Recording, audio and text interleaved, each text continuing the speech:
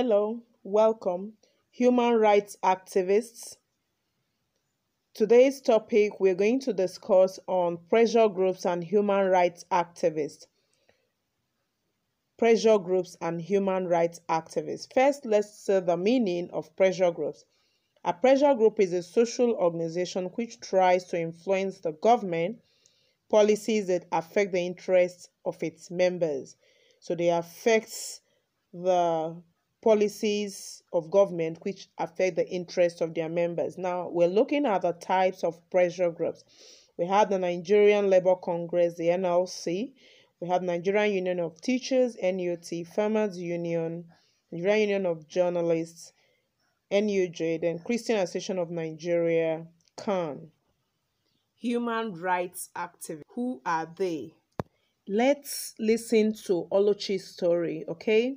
Oluchi woke up one morning to go to school as always. As she got ready to leave her house, her mother told her that she was to stop going to school and to start selling in the market. Oluchi was very upset and refused to sell the goods. She wanted to go to school. Her parents then told her that if she did not become a hawker, they would throw her out of the house. She still refused and gone thrown out of the house, okay? Now, using the Universal Declaration of Human Rights, work out which of Oluchi's rights that have been violated. Which rights of Oluchi has been violated? Okay, so in the course of this lesson, you will get to understand. Human rights activists. Is human rights activists. Human rights activists. Who are human rights activists? The image before you is that of Ken Saro-Wiwa. He was a human rights activist. Why the reasons why human rights activists are important in the society. So we shall look at the reasons why human rights activists are important in the society. And who was Ken Saro-Wiwa? First, let's see the meaning of human rights. Human rights are those basic rights and freedom that belong to every person in the world from birth until death. So human rights are the basic rights and freedom that belong to every person in the world from birth until death. That's the Universal Declaration of Human Rights by the United Nations Organization after the World War. Now, who is an activist? An activist is a person who campaigns or seeks to bring about political or social change. An activist is a person who campaigns or seeks to bring about political or social change. So every human has rights. Nigerian prominent human rights activists. So the first one is Ken Saro-Wiwa, who lost his life in the struggle. The first image by the left is that of Ken Saro-Wiwa. Who was Ken Saro-Wiwa? Ken Saro-Wiwa was a human rights activist, he was a writer, and he was the founder for the survival of the Ogoni people. He was born in Rivers State in 1941. He spoke out forcefully against military regime and the Shell Petroleum Company that were causing environmental damage to the land of the Ogoni people. Now, after the death of four Ogoni chiefs at a rally he organized to protest against this evil act of the Shell Company and the military regime, he was actually tried by a special tribunal and found guilty, and he was charged for complying with the murder of the four Ogoni chiefs. So he was executed by hanging along with the eight fellow activists. So this arose international condemnation against Nigeria and it led to sanctions against our country Nigeria by international community. So Ken died in the struggle because they believed, the government believed that those four chiefs that died during the course of his rally, that he was the masterminder of the rally, so he was killed by hanging due to the execution or the judgment given by um, special tribunal. So he died by hanging along with other eight human rights activists. That was really painful. So Ken Saro-Wiwa is one of Nigeria's prominent human rights activists. The second one is Margaret Ekpo. Margaret Ekpo was born in Calabar, but she fought against the extortion from the Aba women, Aba women traders. So she was the one that masterminded the Aba women riot. Funmilayo Ransome Kuti, she fought against the uh, uh, injustice meted to humans. So she fought against uh, human rights abuse. Wole Soyinka was a literature laureate, so he too, with his uh, literary works, fought against human rights abuse.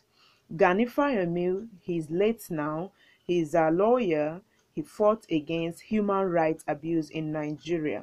So the first image by the left is that of Ken Saro-Wiwa and the second one was that of Gani Fawehinmi. The one below is Omoyele Sowore. He is the founder of Sahara Reporters. He's the man behind Revolution 9 in Nigeria. He's an activist and was arrested some few months by the federal government of Nigeria. He was charged for treason that he wants to topple the government. Then the woman there. These are all Nigerian prominent human rights activists. Let's look at some world human rights activists. First, we have Nelson Mandela. He fought for apartheid, that's discrimination against the black in South Africa. Then Martin Luther King Jr. He too fought against racism, discrimination against the blacks in the United States of America. Mahatma Gandhi. These were all world human rights activists. Now, let's say the meaning of citizenship. Okay, now we have discussed um, the 10 year old Oluchi and what the parents did to her. It was really bad. So, what were those rights? The Universal Declaration of Human Rights. They were rights of Oluchi that have been violated. So, let's look at some human rights First, the right to life, right to freedom of speech, right to freedom from torture. No one have the right to torture anybody. So we all have rights to freedom from torture. We have the right to free speech, to speak our minds at all time. We have the right to live. We have the right to life. We have the right to education. So Oluchi's right to education have been violated. Oluchi's right to life have been violated we have rights to liberty. So, right to life, right to free speech, right to freedom from torture, right to education, right to liberty. These are the Universal Declaration of Human Rights, and these are the rights of every Nigerian citizen.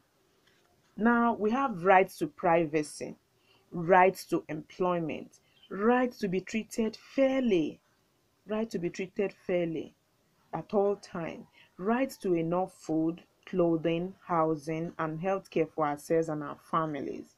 Then we have cultural rights. We have the right to belong to any culture that we want to belong to. So these are all the Universal Declaration of Human Rights by the United Nations mm. Organization. Okay, now citizenship and naturalization. Every citizen have rights. So these rights they are the things that they are not privileges, we all have it. We all have this rights So, who is a citizen? A citizen is someone who legally comes from a country. But citizenship, citizenship is that legal status, that legal status of being a citizen of a country. Legal status of being a citizen of a country. Then naturalization legal act or process by which a non-citizen of a country may acquire citizenship or nationality of that country. So the image before you, you can see non-Nigerians becoming Nigerian citizen through naturalization. Ah. So that is meaning of citizenship and naturalization. Becoming a Nigerian citizen a person can become a Nigerian citizen through the following means. First, by birth, by birth, by registration. by naturalization. So by birth, the parents of the person must be citizens of Nigeria by registration and by naturalization. So these are the types of citizenship in Nigeria. Duties of a Nigerian citizen. First, obeying law and order. A Nigerian citizen had the responsibilities of obeying law and order. Another responsibility is paying of taxes, voting during elections, helping to prevent crimes, and being patriotic. So, a good Nigerian citizen must obey law and order, must be law abiding, pay taxes to the government. A tax is a portion of our salary that is being paid to the government to help in providing roads, good schools, good hospitals, voting during elections. Before a, a, good Nigerian citizen must vote during elections, but only adults of 18 years and above can vote. And helping to prevent crimes, then being patriotic. A good Nigerian citizen must be patriotic, must love its country, and will be proud of its country. The Nigerian Immigration Service is the organ of government responsible for citizenship registration in Nigeria. So the organ of government responsible for citizenship registration in Nigeria is the Nigerian Immigration Service. This is their logo, the NIS. What are their duties? The duties of the Nigerian Immigration Service. First, issuing Nigerian passports to non-citizens. You can see the image of Nigerian passport. This is what they issue to non-citizens of Nigeria, issuing visa permits to non-citizens, investigating human trafficking and smuggling of illegal immigrants. So they investigate human trafficking when people are being moved for slave work to other countries or into our country, they investigate it. And the smuggle smuggling of illegal immigrants, people who are non-Nigerians, when they come in illegally, it is the duty of the Nigerian Immigration Service to check on them. Thank you for watching this video. Now from this lesson, I hope you have seen the reason why human rights activists are important in our society. You have seen how Ken Saro-Wiwa fought against the military regime and the environmental pollution done by the Shell company in the Ogoni land. But unfortunately, he lost his life in the course of fighting for justice. But from then on, the Ogoni people have actually found some succor from the government as regards the cleaning up of Ogoni land. Please try to do your assignment on exercise 17. Ensure to upload your video assignments too and thank you for your time and be good.